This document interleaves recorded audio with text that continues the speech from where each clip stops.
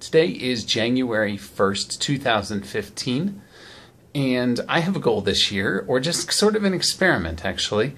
I kind of want to see if I do one push up today, January 1st, two push ups tomorrow, January 2nd, three push ups January 3rd, uh, 31 push ups February 1st, and I keep doing that for the whole year if on December 31st, 2015, if I can do 365 push ups at one shot, I don't know if that works, if you can just keep adding a little bit every day and suddenly end up being able to do 365 push ups.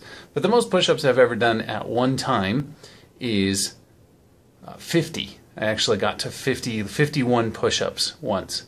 And that was a long time ago. And I would like to get back to where I look good, feel good, and feel good about what I can do. And so today, January 1st, 2015, begins my experiment. And I'm going to do one push up. That's it.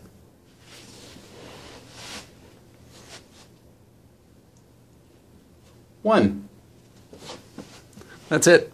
I'll be back tomorrow to do two because it'll be January 2nd. Hope you enjoy the experiment and come along for the journey. I don't know where it will take me or what will happen, but I hope you uh, get something out of it as well. And if you want to join along, just post in the comments, hey, I'm going to do two push ups January 2nd.